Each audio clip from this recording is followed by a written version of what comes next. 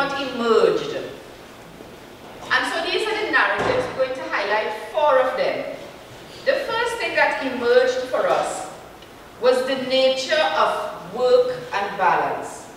And persons told us that traffic was a major obstacle to work-life balance.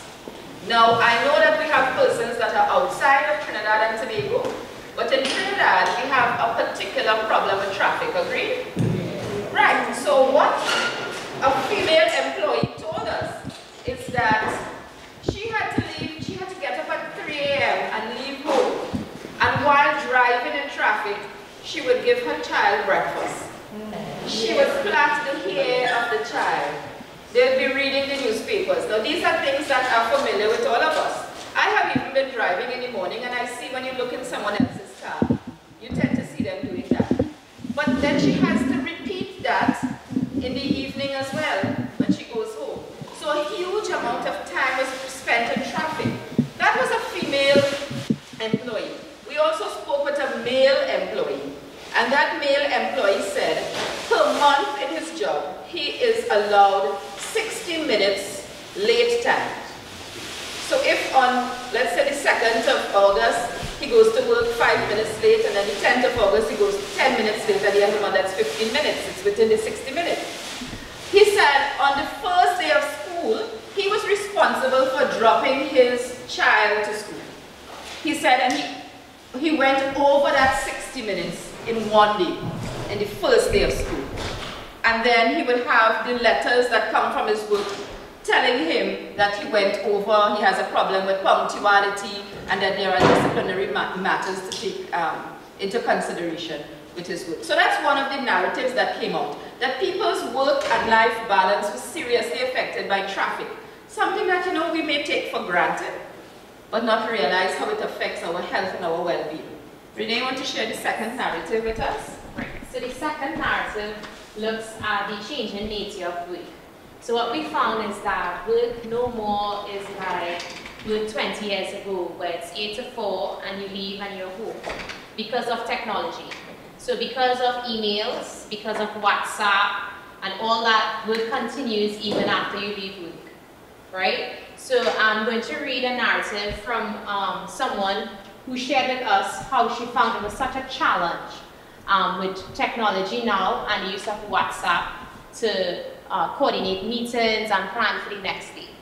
So she said, so at the end of the workday, I'm so relieved. Time to pack up. And, and I hustle down to Citygate for maxi. My phone is pinging me all the way down. Messages from my work colleagues.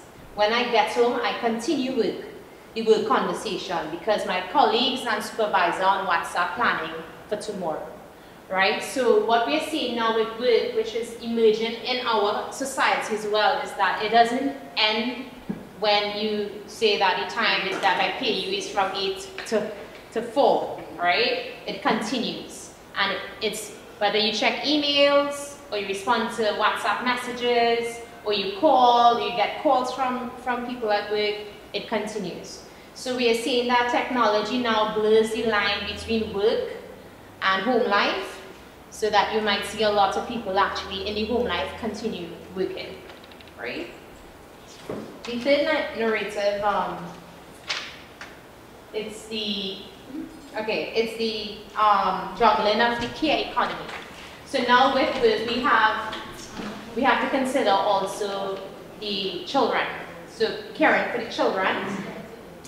And I will share with you what a female colleague said. She said that I was present at work but worried who will pick up my child because my supervisor called an important meeting, so I could not leave the usual time to pick up her child. And she said, what is interesting is that what will happen to her is that if she's late to pick up her child, she has to pay extra for childcare. So mm-hmm. if you reach the nursery an hour late, they charge you for that hour of extra. So she says like you always feel like you're so stressed out because you have to beat traffic, you have to get your child, and now you have to coordinate who can I call to pick up my child because of this important meeting. So these are some of the negotiations that we find um, in family and with wife, right? Then another um, point that came up with regards to child care was the cost of child care. So the cost of having um, children, whether it be at prep school or at a private school, it's quite um, expensive, right? And then she goes on to say that because of the state of the economy, you're really pressured to have a job. Like you have to really keep working. It's not so much like I can stay home and see, see about my child, right? And um, they just generally felt like they were missing significant milestones in their children's lives. So those were some of the responses that we got from our participants in this research. Um, you would see narrative four, and this narrative also speaks of the care economy, but it looks at elderly care. So what we have in the Caribbean is an aging population, right? We have a lot of older people and they're living longer. And some of them are living quite healthy lives, okay? But there are those who also, we also have in the Caribbean um, dementia. Dementia is a growing health issue and concern in the Caribbean region dementia, as we know, and we actually did a paper on this, our, our theme. We did a paper on looking at a particular case where this um, professional had to care for her mom who is suffering from dementia, right? And um, what, what comes out of this care economy is that you have a lot of negotiation of how do you treat the dignity of caring for the elderly so for instance, one of the major things, challenges in that is getting someone who can care. So getting a proper qualified caregiver, someone who's reliable, right? So one of the concerns someone would say if her caregiver doesn't come home, by the time she leaves work, she has to leave the key at the neighbor's house. And then she might get a call from the neighbor saying the caregiver never came. So then the neighbor has to go and check that her mom ate because her mom has dementia. And now she's at work worried if her mom eats, right? So these are the kinds of um, negotiations people make in their communities as well, whether it's with a neighbor that you leave an extra key just in case the caregiver doesn't come, or if you then have to ask for excuse to go home, to be home with your mother. All right, so that was coming up. We have a young man also sharing with us that during his lunch hour at work, he will go down, and he lives in Maracas, he said he will go down, feed his mom, who is suffering from dementia, and then head back up to work. So he has an hour break to be able to do that, and head back up to work, right? So there's, because he cannot afford a caregiver. So we have all these negotiations happening in the care economy with regards to caring for children and caring for the elderly. And, and what we don't usually like to talk about is the care economy and the burden that is associated. So it's not just the financial burden, it's not just I can't afford a caregiver, it's also caring for someone you love and then um, seeing someone suffer and you can't do anything about it.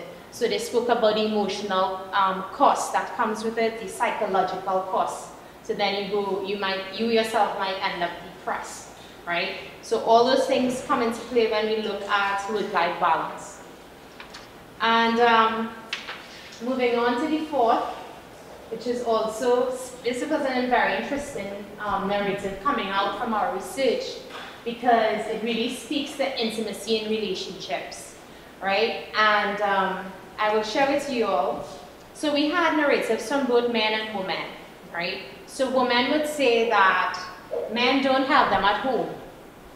So we are both working, but when we come home, women are expected to continue work, whether it's cooking, washing, cleaning, all that, right? Help them with homework. So it continues for the woman. And the men say now that women never want to have sex with them.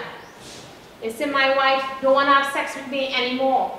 So this was an interesting theme coming out, intimacy, all right? And sexual relations because of work-life imbalance, right? So the man asked in a, in a session that we had, why do women deny their husband sex? And this was a session where we had both men and women. And the women in that session jumped up and they said, because we are tired, we are exhausted, and if you all will help us more, maybe we will we'll have sex with you all. So it was an interesting conversation where we don't we didn't really have to get involved. They actually told and tell their stories, right? And also for a woman caring for her mom, she said that she and her partner, when the evening come, all they could do is swing their legs because they're too tired for anything more intimate than that. So that is something that coming out from the gender perspective, we don't really look at, but it is, it is important in relationships, intimacy, and um, sex, and all that that comes with being a partner to someone, right, and sharing in that relationship. So those are the, um, the narratives that we have, and Cheryl I now will continue. So we talked about work-life balance and you all gave us the definition and how you see work-life balance. Um, but work-life balance is defined as a state of equilibrium and you see that I put that in red in which the demands of both a person's job and personal life are equal. Now this is a definition that sometimes causes problems. You're seeing two words there, you're seeing equilibrium, but you're seeing equal. So the perception that we have is that we must give equal time to work and to our personal life. And when we have this perception that we must give equal time to our work and our personal life, we kind of set up ourselves sometimes. Because when we spend more time on the job, we feel almost as if we're taking time away from the family and that we're not a good, we're not in a good place. Sometimes we might say, well, I'm not a good mother. I'm not a good husband. I'm not a good father. And in some cases, when you have the flip side taking place, where you now have to spend more time with the children or the family because of something that happens, you say to yourself, I'm, I'm not doing well at my job. I'm not a good employee. So we want to demolish this concept of e equal. And we want to stick to the word which is equilibrium. Understanding that as we shared in the beginning, it's a scale and that sometimes it balances one way and sometimes it tips the other way. And there are some people that are very motivated by their jobs and spending more time in the job helps them to feel good. It makes them feel good. There are other times when other people that they're very much into family, so spending more time going to the beach or taking care of their child um, brings that fulfillment to them. So it's about an equilibrium. And we wanted to um, contest this definition of equal because when we say equal, not, not everybody's life can work out to be 50-50. Yes? Um, so this ties into the whole concept of care work because much of the times we have, many times we have problems, it's because of that concept of equality. And so when we talk about the burden of care and care work, Penny, you could um, talk a little bit about that for us. Right. So what we see coming out a lot from our research, it goes back to family life, right?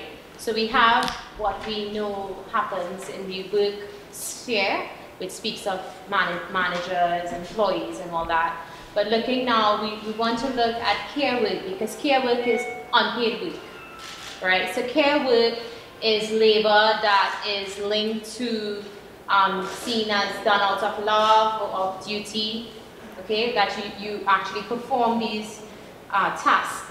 So what we found in this, our study is that from what we gathered, most women do care work.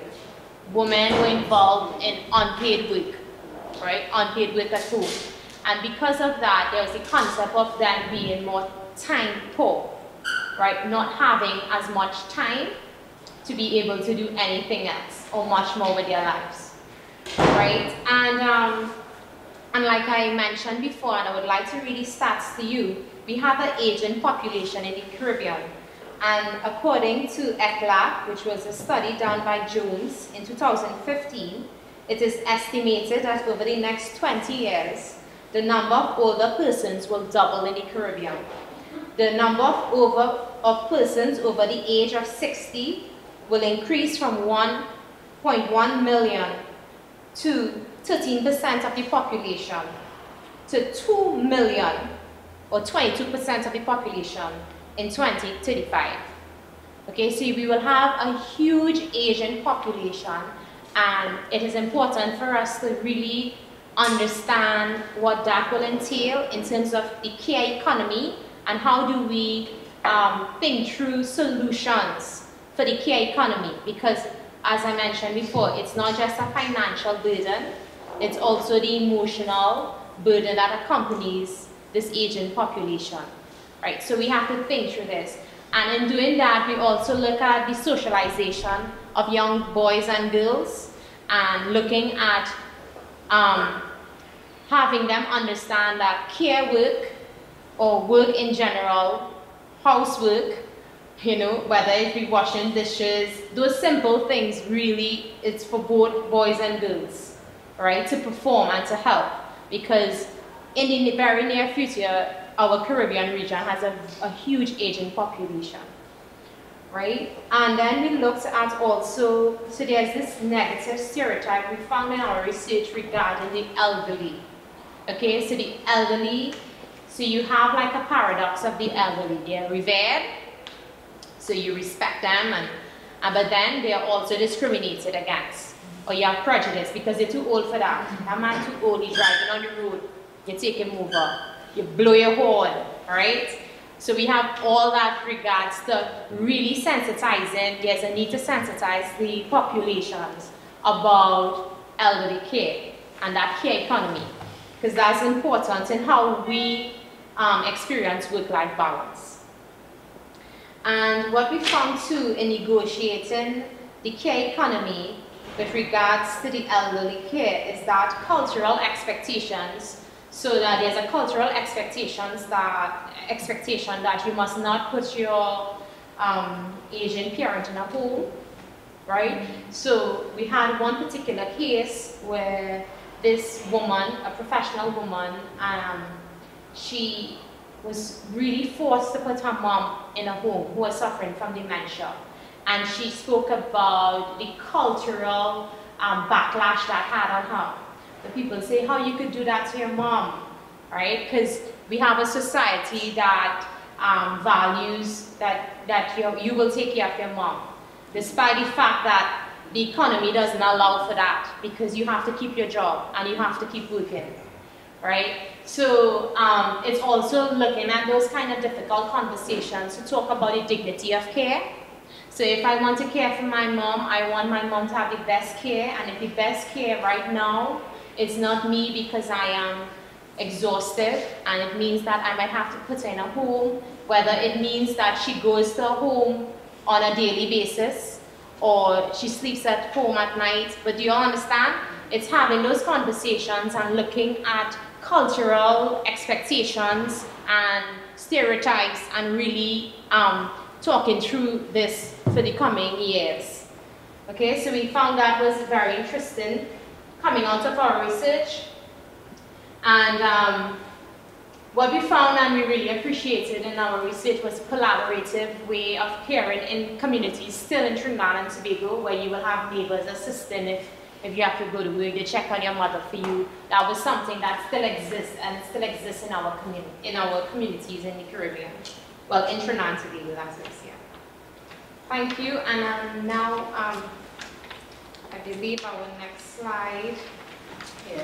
Um, so I wanted to share, as I, we normally do when we go to these workshops, is a little bit about my own narrative. And maybe in sharing my narrative, you may, you may connect with one or two things, or you may disagree with one or two things I've said. But as a child growing up, you're always taught to climb this ladder of success. And you climb and you climb and you climb and you uh, exam after an exam after an exam. And you try to reach that vision for yourself where you are going. And so I got caught up in that as well, climbing this ladder of success. But then, at one point in time, I experienced something that was very traumatic, which had me hospitalized for some time. And when I started to visualize myself climbing this ladder of success, I realized that when I looked behind me, looked down, that I had put my ladder in the wrong building. Yeah? So I was climbing this ladder of success, hoping to reach a place that I wanted to go, and realizing that when I had almost reached the top, I had put myself in the wrong building. And, and that was, meant a lot to me in terms of work-life balance, because in doing the exams and studying in, um, and many people, uh, adult education, in trying to manage your family, in being the best employee that you can be on the job, you sometimes neglect the softer things in your life, those things that add balance to your life. And it is only when you reach a particular point you realize that you may or you should have done something differently. You may have, you, know, thought about something differently. And that was my narrative. So work, so I decided that I wanted to maintain this work-life balance. And so I took some time off of work. I was convalescing and so on. And at one point it was real good because my family who was complaining before saying that they never saw me before that work owned my life. Notice what I'm saying, that work owned my life. They now were seeing me, we were going to the beach, we were doing things together as a family, the cousins, children would come over. And then I realized, but I'm in the same situation. Because now I'm feeling, yes, I'm having work-life balance, but I've given up all work to maintain this life balance. And so this narrative kind of complicated me, um, this thing complicated, be, became complicated in my mind as to how to, to work out. And then there was more guilt because when you go to work, I, I always tell ready when I make these presentations, I kind of work real hard on trying to fix the hair to come and look good, right? But then it takes a long time. And then when I go to work every morning, I see people, you know, you know the people, the hair, the women, the hair all in place like, you know, no, nothing can touch it, and the makeup is well done, and the clothes always on point. And all of these things also complicated how you see yourself in managing your work and your family life and so on. Because by the time you take care the children, you only have two seconds to run into the bathroom to come out and how you look, you look. Whether the clothes ironed or not ironed, it happens. And then you see somebody that projects a different image. And so there's some, some social comparison that takes place. And the reason why we're raising all of this in my narrative is that sometimes we take for granted things that causes stress to us. And a corporate image is something that is so well defined. You see, and you feel you have to match up to this corporate image that takes time and money to reach. And it also affects our work and life balance. And um, so my narrative is that in trying hard, I realized that I either flipped from one side or to the other side. And it resulted in a lot of guilt. Um, the feeling that I couldn't say no to anything in work because by saying no to something in work, it meant that I was a bad employee. You know, I felt threatened that somebody younger, brighter, smarter, prettier would come and say yes to the things that I was saying no to. So you felt almost as if you're forced to always say yes, you can, yes, you can, yes, you can, to produce, to produce, to produce. And then realizing that those who produce get more work. So it, it is a never-ending cycle. Those who do get more, they do more. And those who don't, people just don't ask them anymore. But because we are, I felt so guilty in saying no that I didn't set limits. And by not setting limits and setting boundaries in the workplace, it affected me as an individual. And it sounds very simple when we talk about it. But there are very negative, there are a lot of negative effects of imbalance of work-life balance. When there is an imbalance of work and life, it affects our health and it affects other dimensions of who we are. And some of you here are employers, right? So you're a trade unionists. You are persons that I always consider grass, grassroots and, and, and activists. You know, you're rootsy rootsy. So you all connect with the workers and you connect with the issues that affect them. For me, in my narrative, I used to just call it stress. And my mother and my, my family used to say, she's stressed out. And there was a recent thing really. Um, my mother is only now telling me this because I'm trying to maintain work-life balance. She said, no, there was a point in time we couldn't approach you. Because you all know what is a Jack Spaniard nest? Yes. Wasp, right? Yes. So when we approach you, you were so stressed out, you used to flare up. Like when you approach a wasp nest, that they used to come around with some level of trepidation, to test my mood, and so on. So so it affects your family life and, um, and it affects the stress. I used to call it stress. And when you call something stress, you know what you do? You pathologize yourself. In other words, you say, something is wrong with me. I am experiencing stress. And the change for me, as I share my own story, is that I found out through this research that it was not stress it was having poor work and life balance, which caused some frustration. And so Renee is going to tell us about some of the other things that happen when you don't have work-life balance. And we have a short video.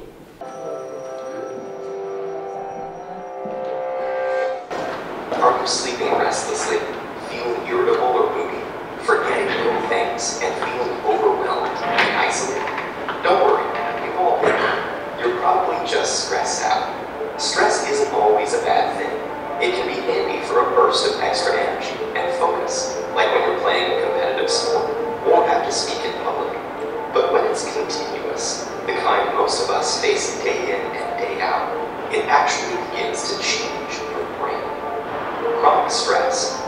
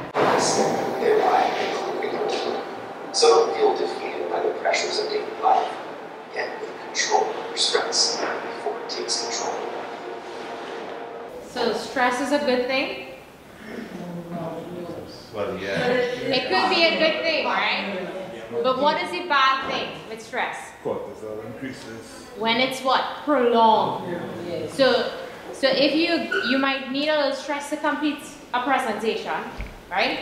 Get you all energized and all that. But then if it's constant stress for a long time, it could really affect your well-being. Right? So if you're you're in constant stress, if you're in a stressful work environment for a long period of time, you can start feeling um, anxiety, you can start feeling depressed, you start feeling um, just like you don't want to go to work anymore, you don't want to see anyone, right? So it really affects your whole well-being.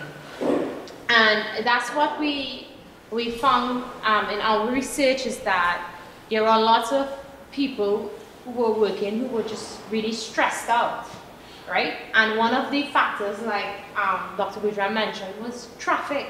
Traffic stressed out a lot of people in our in our research. We're taking three hours to get to work, or two hours from South to Port of Spain, and then the evening thinking that's what you, you have to face going back, right? So these was just some of the, um, we found this video really interesting, just showing you how if you don't deal with stress, it really affects your brain, right? It affects your brain activity and it can affect, based on the research done on the rats, their offspring as well, and how they react to stress, right? So it's always very important how we communicate um, what's stressing us out or why are we acting this way. So when we have when we have scream out at our children, we need to really step back and check ourselves. What is stressing us out and what is what is causing that? Right? Because then they learn from what? Observation. Yeah, they, they learn from us as well, how to deal in stressful situations and how to, and, and there are also things that, in, when we look at psychology, what triggers certain reactions and behaviors and how to treat with that, right? Yeah. So now, um, But, excuse me, but isn't that relative? what's that? Isn't that relative that, um, the very same traffic jam, for example, Yeah. um, the way how you, um, uh, the same. That is relative, yeah. Because um, there was a young boy who said that's one of the best times for him on mornings. He said that's the time where he could think. That's, that's the time he puts on his music, music the loudest and just look out. And he, he was working right at um, TNSEC in Mount Hope, right? So different persons, but this young man was a single young man. He did not have children to drop off. He was a young man enjoying being employed and being young, you know. So it depends on, like you say, it's relative to who is experiencing the traffic. Yeah. So Dr. Um, Gujran will take you to the text of work-life. Oh, no, you do. All right. So we look at work-life balance, imbalance now, and we're looking at the psychological, emotional, social, and, and physical. And physical will be things like when we are stressed out and when we experience work-life imbalance, meaning that we can't do the things that we want to do at home, whether we miss our child's birthday, because we have to stay back and finish a report. So we have things happening physically to our bodies, right? Our bodies speak to us. And we, we can get headaches, mm-hmm. we can get upset stomach, we cannot sleep at night, right? So you're sleep deprived, you might have trouble sleeping. Change in appetite, you're not eating as much as you used to, or you eat more than you used to. Um, muscle tension, so you have fatigue, you feel like you have no energy. And then your heart palpitations. Anybody here have heart palpitations? And it's not because you're in love. Like you just woke up and you just feeling like your heart. No one? So there was Anxiety. like anxiety attack, yeah. Yeah. So there was a young man, um, he was a manager over in Tobago, and after one of our sessions, he came and he said to me, he said, Mister, I just wanted to know that uh, these days I can't sleep, and every day my heart just fluttering, fluttering. And he said, I'm going to take a whole month off. I told him already, I need time off because I feel like even when I try to go to the gym, I'm still experiencing it. And that's because he was saying he was in a stressful situation at his job for a long period of time, right? So sometimes one week vacation might be help, right? Sometimes we really need to remove ourselves from things that stress us out. Okay, but that's a family life as well. Right, just now, because I think you wanted to continue to say that you do know somebody who had anxiety attacks. You want to share a little bit about that? Yeah, my, my, my sister um, started getting that attack. She was feeling like overwhelmed and like she can't breathe. At one time, she thought she was getting a heart attack, but it was just she's a, she was a single mom taking care of four kids and not really working. Um, she was a hairdresser. So everything on her foot whole day, then having to come home and take care of the kids and not getting that support, although my mom was assisting her.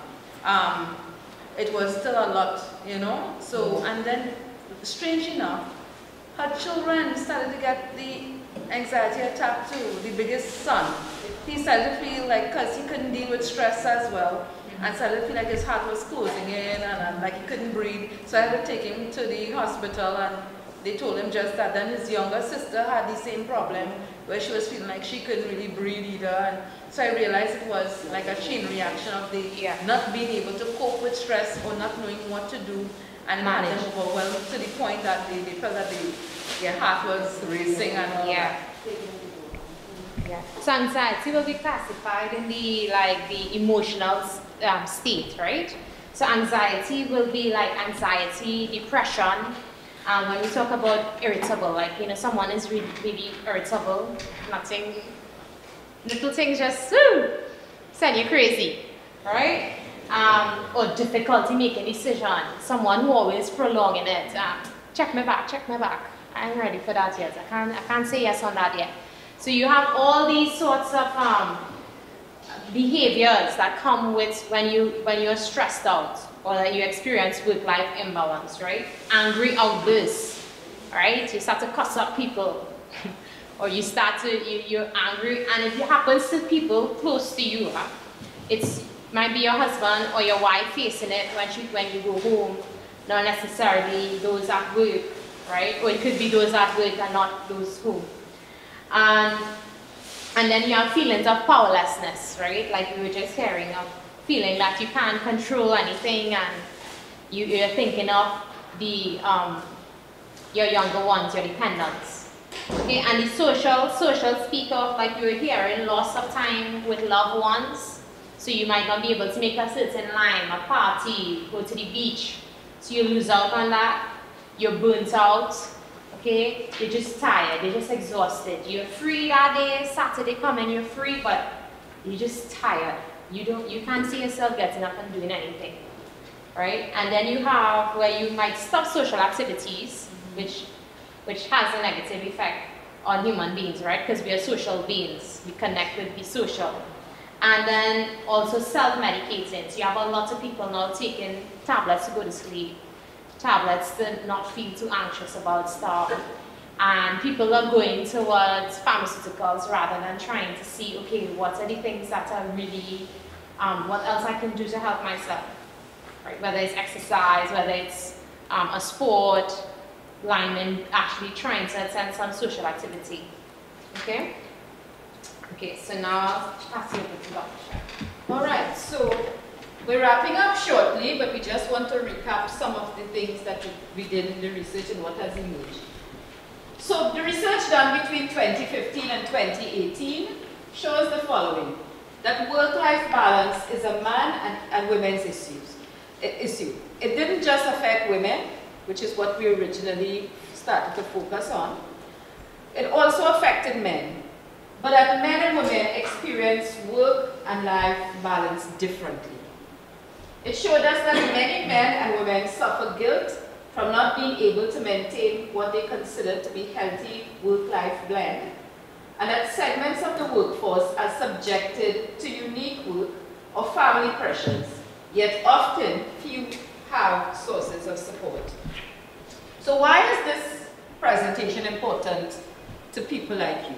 People involved in the trade union movement, in labor, employers and so on. Why is this important? For us, these are the issues which affect the people that you support, the people that you are committed to and have been called upon to support. And these are some of their real life experiences.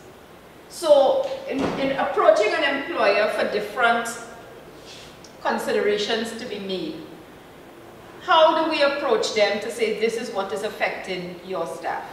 The research is there, it has been produced, and we can make available the research um, to you and some of the data to you that can support any kind of um, a, a, any kind of activity or any kind of um, intention that you have to lend greater support to people in their work and life balance. It is recognizing to the employer that these are the issues that affect our employees, your employees. And when you have happier employees, you have more productive employees. And when employees are more productive, then your business becomes more productive. And so it's not about a win, one person wins and another one loses, but it's about a win-win situation that we're trying to have. And we have the data that will support it. It also provides for you some ideas as to something that what we call structural. In that when we started to look at in this research project, it became, it was a one-on-one -on -one issue. It was my issue, it was your issue, you under stress, you couldn't balance your work and life and that affected negatively your, your performance in work, for instance. But as the research emerged, we also recognized that it was a systemic or a structural or something that was larger, a macro issue.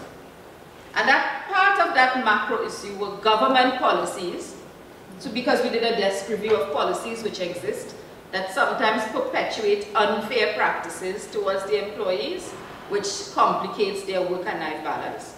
It, it became a macro issue because employment practices uh, the practice of hiring and terms and conditions affected the worker. It was a macro issue because how systems interact amongst each other, how different systems interact, like the school system that is set up to take a child between 8 a.m. and 3 p.m. while you work from 8 to 4 and 9 to 5. Combats your work-life balance because who takes up your child?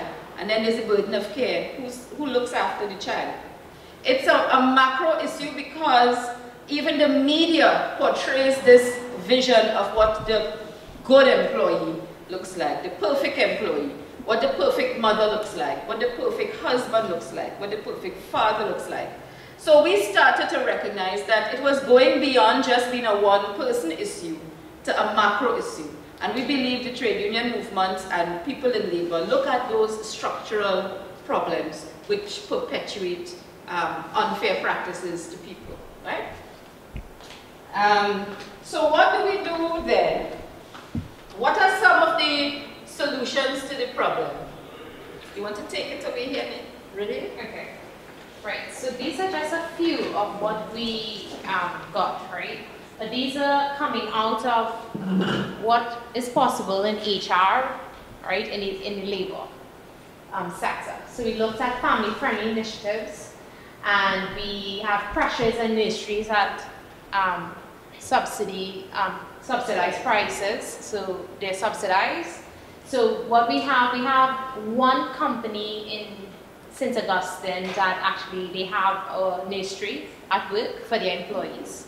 So you, you can have your children there. We have breastfeeding facilities, that's something that in the Caribbean we, we don't have any conversation about, right? We have workplace support for employees taking care of a family member. So for instance, simple things like, um, like we say uh, telephone for use for family reasons, uh, a few participants told us that would be something that is like, will be considerate to just be able to use a work phone to call home to just see, right? Um, also like retiree clubs, looking at the aging factor in all this, and having um, intergenerational uh, cross with young, middle-aged, and old in the labor sector, right? Um, maternity protection and maternity leave. Maternity is always a big thing. A lot of women are always concerned that they're going to lose their jobs because they're pregnant, or most do, right? Most with no sort of union backing will just employers get the next person. We have flexi time. Now flexi time is a very touchy subject because of just this lens that we look at work where it's 8 to 4, which is not really true with the changing nature of work today. But flexi time is something that they, they, they use um, abroad and it's something that we can consider here in the Caribbean and in Trinidad and Tobago right? What works best? What's the traffic time? What it, is someone from South, would it be better if you come 9, 9 a.m. to 7, you know, and looking at how we can even deal with the solution to traffic through flexi time, right? We look at time banking, which looks at um, if you work overtime, you have some time um, hours in, which means that you can take the, the few hours in the morning to take your child to the doctor and then take them back to school so those are things that are possible, but somehow um, we don't see it like that in, in Trinidad. Right, we look at also um, um, what we said here, often by related overtime time periods. So we have what we call uh, the unexpected family events or other reasons for the work time with time banking. But teleworking also is something that came up where you can work from, because of technology, you can have a day home and work, you know, work day, where you, you just work from your laptop and you're really much at work with it, right? So using work like that, like thinking of different ways that will um, fit your employees' lifestyle and the changing nature of work today, what will work out best, thinking through that. So those are just a few of the family initiatives, and we can discuss it when we have questions and stuff later on. Um, so, right, so this was a question that we wanted to just throw out. What were your personal barriers to work-life balance? We were hearing like structural barriers, but what do you all think? And we, we are happy to answer questions now and just get feedback in general of the study or anything that you all want to share. I guess you have raised it in your conversation there because at present, um, single parent not having the support of grandparents or auntie living mm -hmm. close by would like to further my education. But because as you said, the school finishes at 3 o'clock, I'm finishing 4. My daughter is 10. Um, when she gets home, who is there to see her while I maybe want to further my studies? Yeah um, the distance to get her from school, maybe to come to be on work with me while I'm studying, being in the back of the class, how, how to get that done if I don't have um, transport. So it puts me in a place where I'm saying maybe I have to wait until she is older and then I could go back to study or take care of myself. So even though I may want to climb the corporate ladder by advancing with my education, it's limited because of me having a family or being a single mom. Yeah. So that's yeah. And on top of that, your employer, this is something we discussed yesterday.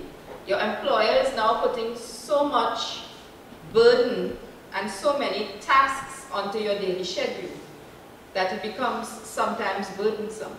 So employment has changed in that it's like the employers are giving you things to do every second of the day, and then some. And that, we were talking about how that affects unemployment, because we are now working two people's jobs, sometimes one and a half persons' jobs. And that's the reality that we're facing. Um, and then with all of those things that you said, com it complicates that you lack your work-life balance. Yeah. Yes, question. As, as a domestic worker, we have a lot of barriers in our job. But you spoke about setting limits on your job, but we cannot really set limits because we haven't got any job agreement or anything. So whatever they put on our plate, we have to do. So how could we set a limit to say, well, at least by four o'clock I could go home and take care of my children?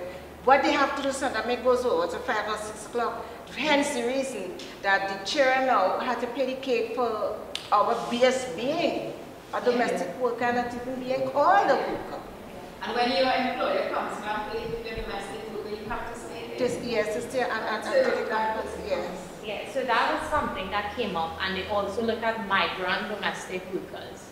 So the fact that you might have, um, there was, there were a lot of concerns regarding getting someone to come in and do care work, right? To see about their children. And then if they do get someone, if someone is from, let's say, this particular person, she had a Jamaican caregiver caring for her mom. And um, then there was the whole issue with immigration with regards to keeping her longer than her time and negotiating that. So domestic workers was a big thing coming out of this research as well. Now uh, study. But yeah, it's true. It's there's no cap to the labor and there's no kind of regulation of that labor as well. It's like you on a personal need to negotiate with whoever you're working with.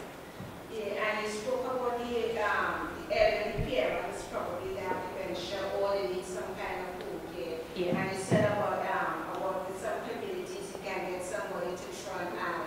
Yeah. But that was more like in the old days. Yeah. Because these days it is very difficult Yeah. to get, to trust somebody to go in your home and look Yeah. and take care of the the elderly. Yeah. Even with families, it is difficult for it. Yeah, So that's how true. do you get around that situation? There's some comments on this side. And also the, Mm. the managing of the twenty-four hour day, eight hours to sleep, eight hours to work, and eight hours to do what you want. You know, getting the time because the eight hours at work, they calling in early, you're leaving later. The time to do what you want, you ain't know what you're gonna do because you have this little bit of time, you don't know what to do with it, with the associated too, and by that time, it's time to sleep. And they go to bed late because for whatever reason, and they get up early because they're calling. Yeah, the myth of eight hours to sleep. Yeah, that's a concept. Yes. Uh, What about the other side in that the individual, trying to work on the individual changes that we could possibly implement that might assist us? I say that because, just as um, my colleague might have, would have hinted just now, in the past, there was the culture of the extended family, there was the culture of the community that in our quest for progress we walk away from. Yeah. So now, in many instances, I don't talk to my mother or I get with my wife's family. So I, I and my wife alone after raise our children. Right? So that probably we also have to take a look at what is really progress and how are we socializing our society, mm-hmm. right? Because I remember as a, as a youth, I remember as a youth, I used to walk to school. When I come home, if my mother isn't there, my sisters would assist in taking in taking care of and managing all the all the all the younger ones. Um, but now, well, we also used to eat as a family, watch TV as a family because there was only one television. There was no one in each room, and there was multiple channels to look at, so that we had some community time in our homes to- to- together. But now with the so-called advancement, we have everybody out, nobody to be wondering how to take care of the of the younger ones. We don't eat together again because when we come home, it's either somebody now takes their food and goes to their room to, to, to eat. So that whole cultural shift would, might have also contributed to um, work-life work-life imbalance. And we probably have to now start thinking about working on that also. How we plan our individual lives. So it may gone for us because plenty of us would have gone to school as adults. But now we have to try and encourage our children to probably go to school earlier so that that added burden of having to work, come home and go to school wouldn't be placed on, wouldn't be placed on you. So we probably have to do some social introspection as well. And like we suggested, we, this was one of the recommendations coming out of our study, was the resocialization, right? And like you said, thinking and resocializing our younger generation and generation that is present of the care economy. Because most times whenever we look at work, we look at paid work.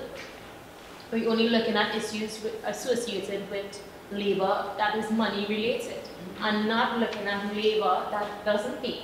Labor that really is seen as beautiful and also love labor and looking at how we can re-socialize take that shift now in looking at care labor and understanding that it needs to be priority and also understanding that we need to change our attitudes and behaviors to fit into what we envision as development for our country, for our societies. Yeah. Um, just to piggyback on what you just said there, my perspective on that same thing with the, those um, jobs that doesn't hold value as such as women do, Mhm. right? I can just say men took a monetary value to the roles of, let's say, washing clothes, taking care of children and whatnot. You'll never see the type of relationship that um, men look down on women kind of thing. Yeah. So that same kind of thing that needs to happen. If you could put a monetary value to even the environment, you'll see a, a different way of looking at it. As for when the gentleman talked about um, the change in family life, simple things like how far you work, how far you work from where you live. He talked about being able to walk home, right? I mean, I live Derby, I went to school at Fatima. Can't walk home, I have to commute just as my parents. You know, so that distance also affects family life right there and then. So should the, on the macro scale, have more decentralization of services and um, employment so that people can work closer to home and therefore be able to supervise their children. Um, how much um, companies are willing to have children on their premises, you know, even on visits and stuff like that. As for me, with respect to this um, to like um, balance, I am looking down the road in terms of retirement, right? So I need to have enough funds or have enough investment or investment portfolio mm-hmm. to make sure that I have a easier time because I'm going to, it's expected that I'm going to live longer. Life expectancy in Trinidad, I think it's at 70 right now. Right, and we have people that live beyond that, you know? So for me, I have to put in more of the work now you know, in order to achieve that. So the sacrifice that everybody has to face. So my mom had a problem that I need to, I need to be home or whatnot, right? But I, am a teacher and as well as I do KFC delivery and I'm always looking for another opportunity to make more. So I'm telling her, you need to call me. We make use of the same technologies that they're saying that, you know, we are so advanced, but this breaking up, the technologies to keep in contact. You know, we can, we can set up a camera system so you can see at home or Skype, um, WhatsApp video, Facebook video, etc. So that's how I'm trying to bridge that balance. I think with this um, discussion, um, thing is going forward. Um, in dealing with this matter of, uh, of work-life imbalance, I think what becomes critical is being able to define and distinguish uh, between work-life imbalance and stress. Because that, that was spoken about earlier. And um, before we consider, you know, um, looking at any, any possible solution, then there has to be a, a methodology of defining and distinguishing between, uh, because oftentimes in the workplace, um, the employee has his demand placed on his workers uh, with the expectation that, that they deliver in the interest of the organizational goals, profit, etc., etc. And it's very, it's very quick to come to uh, the position that, um, okay, if it's stress, then we, we manage stress. But when it comes to the work-life imbalance, um, you can find yourself in a very precarious position uh, of being considered um, incapable Yes. of performing and even bring the risk to your, your, very employment uh, when the work has, has its demands and then the, um, the challenge, uh, the problem become defined as, as a, are you not being able to, to find that balance? So the question becomes now, how do we um, bring the employee um, up to the, up, up to that place whereby uh, it becomes his best interest because if you're not performing, the cost of retooling a person, we spoke about earlier in earlier session, um, is a cost to replace you. Exactly. If I they say, okay, let's bring in somebody else, a younger person, uh, there, there, there's a cost to that. So it, it is in the employee's interest to be able to look at ways, not just how to manage stress. I think we have, we have systems to deal with stress already, but now we need to evolve to having systems to define and also deal with that um, um, um, work-life stress. And also, we need equally to have the employee, the persons now, even within yourself, being able to, to distinguish as well uh, between, because stress is good. I recognize that it's bad when it's prolonged, and, um, and even prolonged becomes a reality. you know, just trying to accept because I'm living in, in, in Couva, coming to Portsmouth every day. I can't pick up a house and move it. So that is a reality that remains constant. Uh, um, you know, so um, the question I'm asking is how, how, do we, how are we approaching uh, that challenge of being able to have the employee come up to that place, of, of being able to define, and the employee being able to make uh, decisions that are fruitful to himself and finding that balance. I, I could um, perhaps share that this is a public, this is a public issue. And therefore, any change, any remedy of the situation has to be a public remedy as well. And I'm saying that so that it points towards what we call an ecological model solution, which recognizes, and I'm sorry I can't draw or put something on the board, which recognizes that there are different spaces. There is the micro system, which involves you and me as individuals, our psychological, our emotional, and so on. And then the family and the group of people that are close, close to us, like our peers. Then there's the meso level, which speaks to community involvement, involvement of people um, in, in our community spaces, uh, the, the school, the, people that we work with in church, the people that we interact with in church, and so on. And then there's a macro level where we talk about what I talked about before, which would have been the education system, the political system, the government system, and those things. So any solution to this issue has to come at all three levels. So there needs to be changes on all three levels. Now sometimes changes in one level can bring about relief to some people, and as you extend to the other levels, it, the amount of people that get relief from it increases. So on a so if we use the, the ecological model to, to come up with a solution, for instance, on the micro level, and our last slide, we talk about um, the importance of self-care to the employee and being able to have, even in our, um, even in ourselves, to recognize when our stress levels go up and when it is caused because of work and life imbalance. But it took a long time for me, for instance, to recognize it. So for people that are not even aware of it, it, it, becomes difficult. But there is a personal responsibility that we have, just as you are saying. And so things like stress relieving strategies and relaxation exercises and using creative solutions. People, in, in, uh, people come up with creative solutions. And so those creative solutions in their own self as a person. But at the family level, families can come up with um, different strategies that they can use. Shared time giving, um, shared caregiving and so on. On a community level, speaks just like what you talk about, going back to creating communities of care. It doesn't mean to say we have to go back to the rural community, that community that we pictured. We have different spaces now. We have gated communities, and that allows us this opportunity to have that community of care.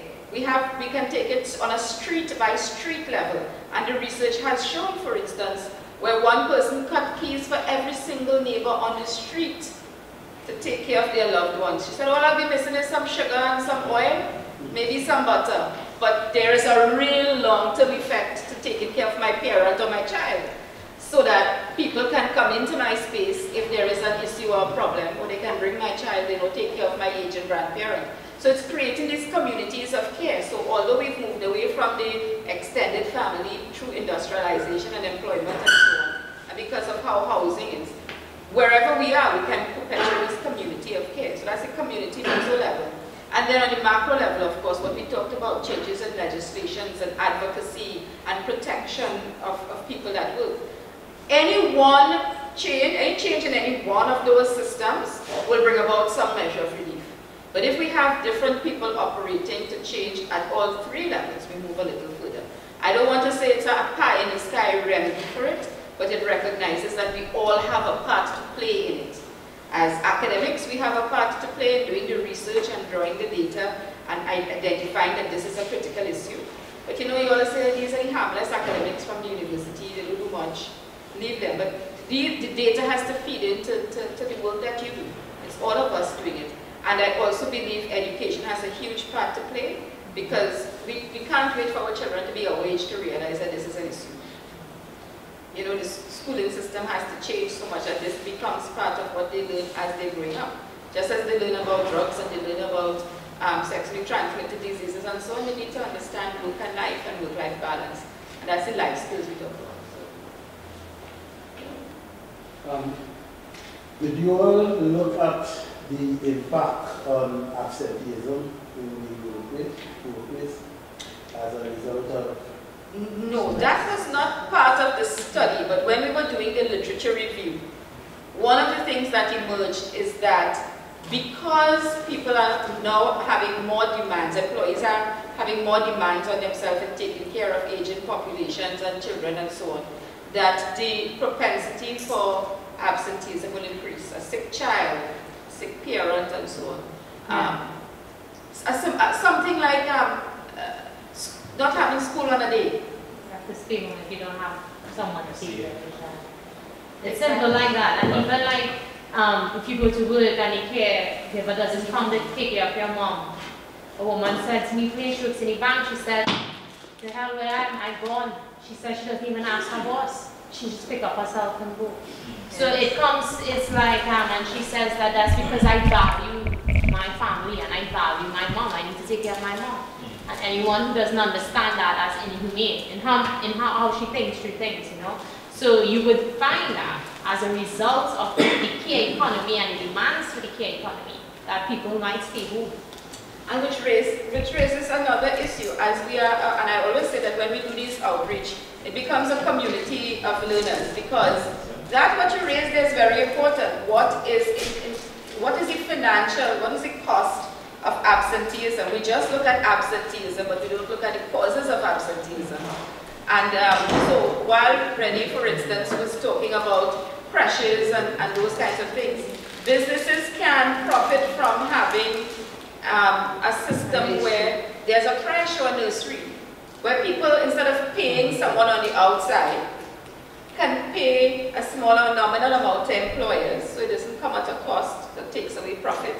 But there is a sense of well-being, knowing that your child is right in the room or the building next door, and that you, you are now motivated to stay and maybe work a little more, and spend your lunchtime across there, come back, you know.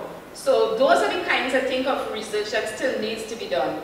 Because if we are talking about changing conditions, people want to see it in dollars and cents. So I'm, I'm very happy that you raised the cost, not just of absenteeism, but the cost of everything else that goes along with improving and, and, and with costs, we must always think of the causes of that cost.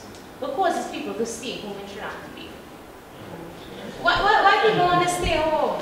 It's St. Anna. It's carnival. Line, what kind? Line. So it's looking at Monday, Tuesday, Friday, though. Okay. holiday, public holidays, is that we need to think through also where we place holidays and we have longer weekends, so you get family time, you know. Those are things that we, um, conversations, sorry, that we can have. No, look, I'm just listening. Okay. Um, I'm from Suriname. Uh, we are a trade unionist too.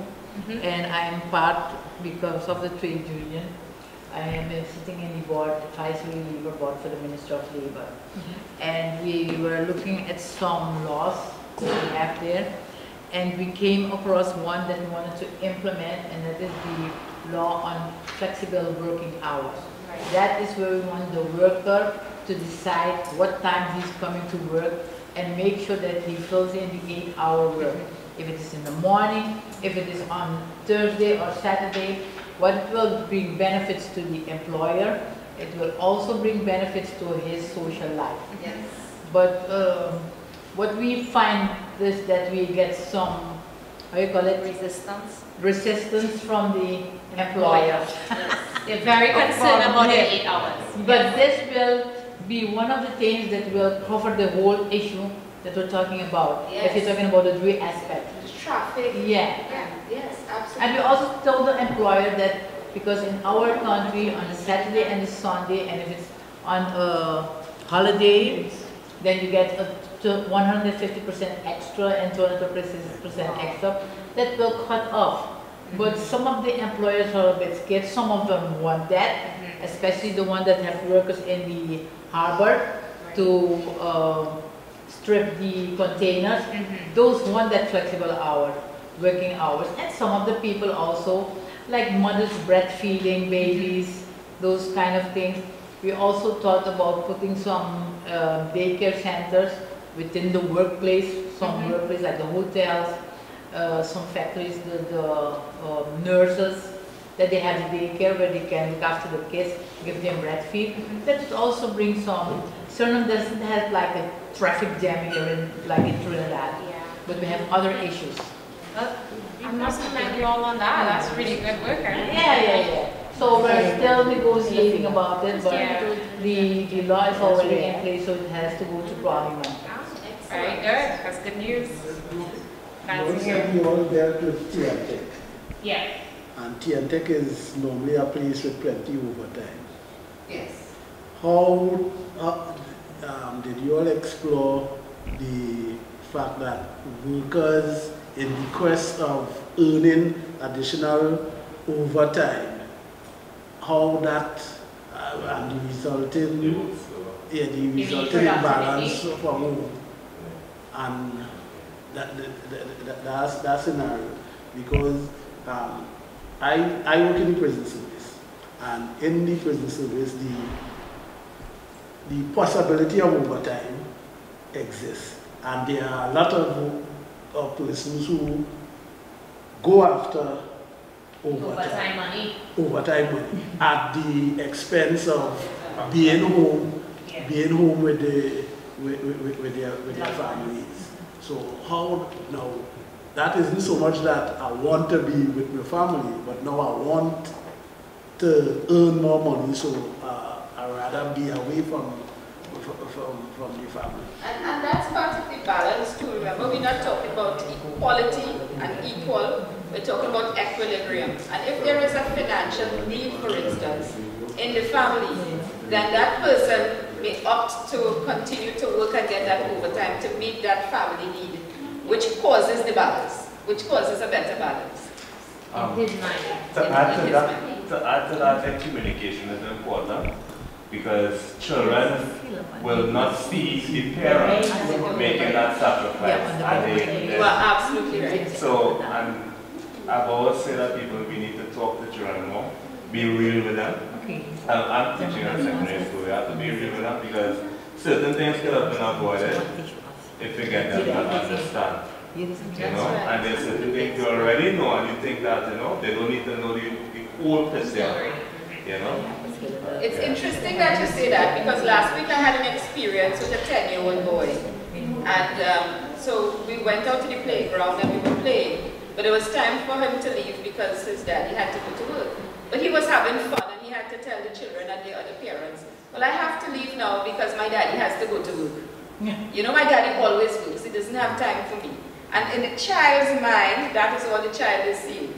Whereas um, in the father's mind, I'm going to take care, I'm going to work overtime, I'm going to work long hours Mm. so that I can take care of my child. And that is right. Communication is, is critical, but, but also managing it is, is important. Because even the white side is also, so you say, oh no, you also That's- have, you are to- right. you also have to complain of the partner, that Yeah, you the can- husband or the Yeah. spouses will be working all the time. and- Tired when he comes and- home. And they never, they never Because the bringing money. Yeah, but that is one of the, the reasons why we are trying to introduce also this uh, working on flexible hours because what we notice is um, the multinationals that we have in the country and the Chinese and uh, some big companies, they try to have a 12 hour work. And the workers were enthusiastic at the beginning, but later on they saw that started to work on their social life. Um, uh, wives leaving their husbands because he's not around, and they need him. The children, as you were saying, don't see their father, and he's thinking that he's bringing home money. Yes. But later on, what we discovered is that they themselves, the workers, came to us as the union to say, to ask the government to stop the 12 hours work because physically they couldn't handle it anymore. Back injuries, uh, getting tired, having pain. In the beginning, it looks like, yeah, we're getting a lot of money. But at the end, they end up with lots of sickness, lots of illness, all kinds of stress things. And that's where the stress begins. Yes. And what's interesting, as she mentioned, that in Tobago, we had um, men also saying to us of the pressure that they get from their partners for work. And, um, and the threat was that if you don't work give me that, I can get the next man to do that for me. Right? Yes. So their concern with work was that their woman would leave them. And that was a se- that was a real threat. Big. It was a really, really big issue in Tobago with that. But it was so interesting to hear it in Tobago among the men, you know, they were really concerned that it- their, their woman would say, if you don't get this for me or that for me, I can get someone else who will be able to do that. I'm lucky. this- Yes. In recent times, well, in recent times, there are institutions or organizations who have been recognized that employees have problems with their work-life balance, um, have instituted uh, counseling services. What we found, well, I shouldn't say we, right, because I know it was done, but um, from, from the reports that we get for counseling services, is that people don't access it. They have issues, but they would not access, and you, you, you earlier you talk about, um, you spoke about the solutions to the problem. I didn't see counseling as being a solution. We're looking at the things that I could do or what the, you know, right? But counseling could be a solution as well because you might not be able to see for yourself your situation in a clear way that you can make adjustments to become, to, to, to get to that state of equilibrium. So there's counseling available, but employees don't access it. Yeah, but the question is why don't we? So Confidentiality is a big, big issue. yeah. So um, we, we dealt with a few employees who had that service available to them. And it came back to confidentiality because my business going to be all around the corridor and everybody going to know And this one was unfaithful to me. That's a perception. So that's a perception because, okay, So we had a few of them already that we spoke to that they were concerned about their business out on the road, right? But um, I believe that there could also be a personal sort of barrier because it is where you see the help of a professional, right? And, and, and we all as human beings don't like to sometimes reflect and think that we might need help. But there are two types of counseling. You Right. can have in-house counseling and you can have external counseling. Right. So if you're talk- talking confiden- uh, confidentiality, is it an issue with the counselors or is it an issue with the organization when you have external counseling um, being provided? I could answer that as a social worker myself and having been on EAP programs. So I'm a clinical social worker. Um, there is a perception and we have to understand that people's perceptions sometimes become their reality. So there is a perception that is a misperception perhaps that if I go to the employer and I try to access EAP, Employees Assistance Program services, that the employer figures that something is wrong with me psychologically or emotionally. And then the employer starts looking at me a little different.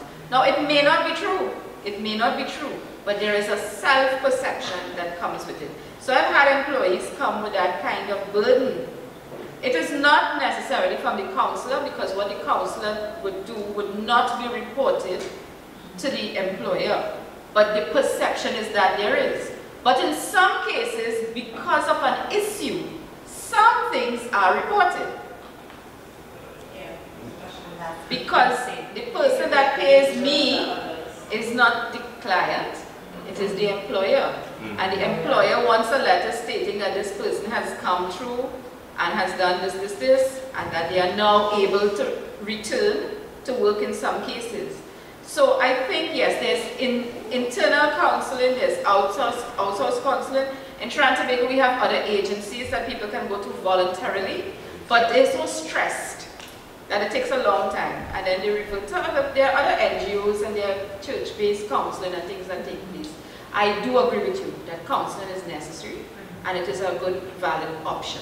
Um, what we have to do is to get the best fit for the person so that the person feels comfortable, that they feel comfortable. And I think that is that is the challenge in, in getting that. By the way, say too, I believe, um, I believe, uh, and also what you're saying is a cultural thing as well. Yes. Um, we as a people, I, I, I have friends abroad and they speak openly, I, I go, you know, openly, you know, I'm, I'm going to my counselor and so forth, and it's, it seems to be a, a good thing saying, I'm going to my therapist. Uh, but we here uh, culturally, even marriage counsel and the different things, uh, look at it, it's a, yeah, it, it's a very negative thing, uh, not fully understanding how uh, important it is. Yes. You know, so that's where we have to look at well, to bring that shift in Well, perception. That's partly because we think that psychological problems are really spirit lash, mm. and because you have a demon in you or something, something that is religious oriented. And because on the other hand, that when you admit that you need an outside person to help you, whether it's a counselor or therapist, that there is a perception that you have failed and that you are weak in your, in your personal ability to, to handle your situation. And these are things that we have to work through because we all get, I don't want to say counseling, but we all talk. Mm-hmm. We have a, a, a, an oral tradition in Trinidad and the Caribbean to talk. Some people talk more freely than others, and some people have more people to talk to than others. And for those that don't have someone to talk to, to release that, that negative energy and to vent, and to get some good direction, those persons. I, I I know in talking, eh, it's simply um, uh, a man going to the police station and saying, oh, why did they beat me? Uh, they laugh at him and, you know, You understand? and looking for help, you know. So it, it's really the, It's a culture. And, and as far as, and coming from the study too, we see a lot, a need for a lot of cultural shift in understanding things. Just like we talk about the care economy, there needs to be a cultural shift in how we see the elderly, care, women, unpaid work. Those are things that are important to our society, you know, so it's things to think about, yeah. Did you try, in the study, did you look at, um, the interviewee and the the family structure, how it influenced their lives? Because, for example, if you live in a home, if you come from a home where your mother does all the work and the father comes home and twiddles his thumbs in the afternoon, and you, your mother is overworked every day, and in your mind, that's the way life is, that's the way it's the right thing to do, then in your work life, you will find that uh, I will become, the female becomes the, the domestic, The, the office. and the man comes home, That you know? too, huh? So is there their relationship with The uh, female becomes what one we serving all the tolerate? Coffee and picking up all the plates after meetings when it should. Yeah. all eat and drink, right? Yeah. But it's understanding those dynamics and understanding comes back to socialization and the fact of expectations associated with gender and gender roles. The study didn't directly focus on that, but there were emergent discussions in it. So for instance, when we held our focus group discussions, what emerged was that those families that were not as nuclear and small had greater support. And that in some cases, we pathologize or we think negatively of aging people because we think they're always old and sick and need to be taken care of. But a number of the persons who, who uh, were elderly that we did the focus group on said that yes, we agree to take care of the child so that our child, of our grandchild, so that our child can work.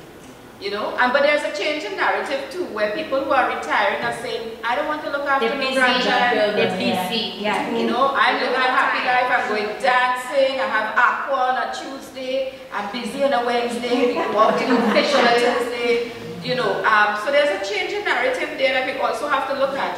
And which means that, and one of the things they were also saying is that not all of us want to retire. That's a discussion for another forum, of course, yes. But If I just- if I share with you, um, I'm from the prison environment, right, prison service. And uh, we have uh, the program um, whereby we ourselves experiencing the aging population. We have a number of them because of the, uh, the length of sentence um, Right. that have been um, That's interesting. Yeah, right. And uh, something good that uh, uh, we have, I can't say that by a project, but something that has, has started and it has been um, one good fruit from, from the feedback that they have a program that targets the aging population, that prepares them for uh, that stage in life. In other words, uh, some of the realities uh, they confront now because they're on the door yeah. of, of, of old age and, and even even the prison environment. And um, what we have seen from the feedback is that uh, uh, uh, because they become mentally alert to that change process, because I think uh, uh, one challenges too is that for most of us, we always think that we will live Correct. you know, be, uh, you know, young, you know. A, a person 40 years old, when, I was younger, was a old, a old man in, Yeah. in my mind. Yeah. Now 40, 50, Yeah. um, we looking similar, you know. We have, we have similar interests. So um, a good thing to look at as well could be that uh, aspect of preparation uh, for the elderly. So that in other words, they, they begin to put things in place. Even simply, even simply when you're strong, you're able to put in a, a little, um, um, what do you call it, a handle in your bathroom. Yeah. Because you see, you see where you're getting there. And it serves not just the, the elderly, but it supports the family in the process as well. Yeah. You know, so uh, Yeah. sometimes working in prison well, whereby we begin to prepare the, the, the, the aging population for that time. So, uh, next thing coming out from our project for the aging population is the conversations that we don't have. And that conversation is the conversation of death. And preparing for that. And preparing for your funeral. You know, those are, because we don't want to talk about, oh gosh, I don't want to hear that you will die one day. But those, that is part of life. And that's, that's a conversation as societies we don't even engage in much also, you know. Those are the shifts that we need to see culturally when we look at aging and when we look at death as part of life. I, I know someone who chose their coffin already. Right. And they went and looked at the- Yeah, and they bought their the- little the plot of land Yeah, they and, went and looked at the spot there. Yeah. yeah. She was there. So, Yeah. you know, I'm happy that everybody is here to this workshop, but I'm also very happy, I have to say, that prison is represented. Because there is a perception of prison officers and work-life balance. And um, how stressful the job is, you know, that is not an easy job. And how it affects your personal life when you walk down the street and you see an ex-inmate, an ex-prisoner there, and how it affects the interaction and so on. And um, our project has wrapped up, it's unfortunate, because we would have loved to come into the prisons to do work-life balance. um, We would have gotten another, another dimension in that you would have looked at working and, and life, but is in prison you bring home the danger of your work That's right. to impact on, so that is the other part of the... That's right, that's right. Yeah. And then how do you cope with those? And as the complete military spec of things, whether it's Coast Guard, Army, police Police. Uh, officer, They might bring home stress. But you bring home the risk. home the risk of the job. Yes, you with bring us. up the risk. If I share the experience, a personal experience, uh, um, our officer was killed. I was not- I- Some some time ago, officer was killed. And um, I happened to, uh, uh, the police officer was a, was a friend of mine. and he called me immediately because he was the first responder. And I was on the phone, and this is, this is what's saying is real. On the phone with the gentleman, telling my boy that speak the officer right there, just got shot and he your mother. And uh, my daughter was standing nearby. And in the conversation, we had a conversation, and she was overheard. And when I look around, her whole demeanor had changed. And uh, she said to me, Daddy, so they're killing you all again? And I had to sit down and talk with her for a while. And I think that reality people don't Yeah. uh, understand. So it wasn't me bringing home stress like, like, like my, Mr. Mr. My colleague would have said it just now. It wasn't me bringing, but the work follows you home sometimes. Yeah. Right? So home becomes uh, an extension. That's why uh, when you said to define, I put in front of the both sides, put the hands across it. It was that I was taking work home, and the work follows you uh, uh, by very nature. Because they understand the nature Yeah, of because it impacts them as well. You know, so how, how, how, how do we, it become a challenge for us as an organization? To manage what we can be in control of?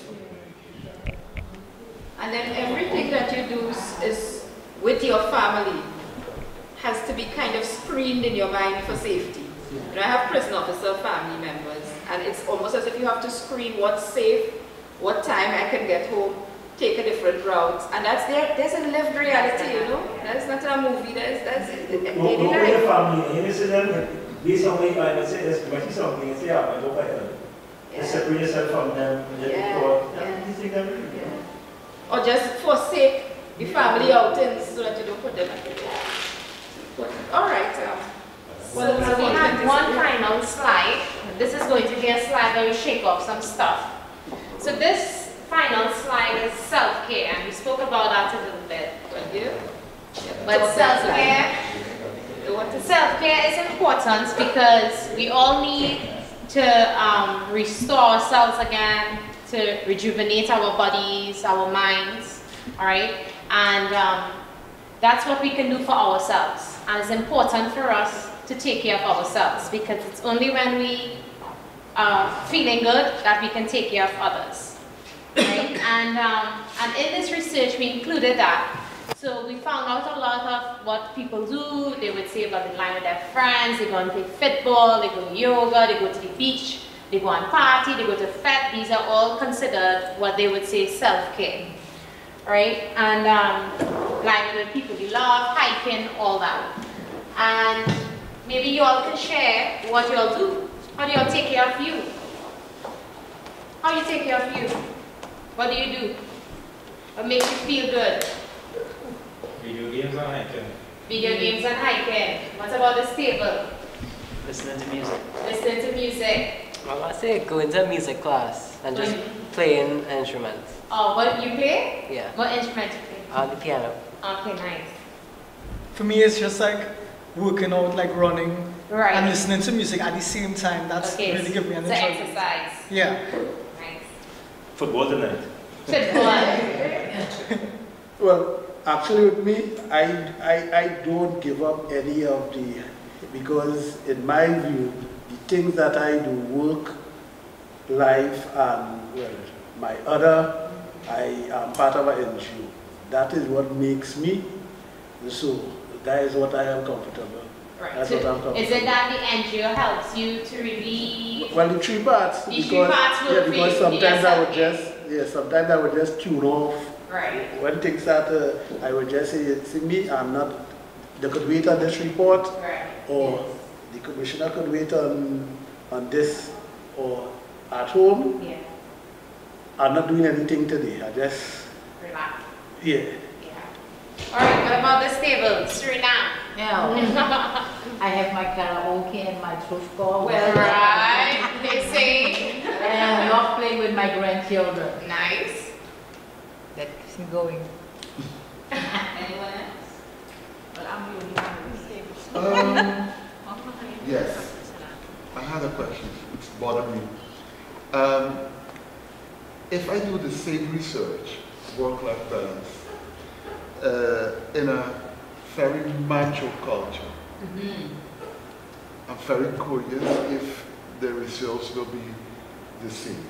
Mm-hmm. We're not sure, but it's certainly something. Is that it we should- a, a macho culture, what society are you looking at? For example, Curacao. Curacao. Yeah. Yeah.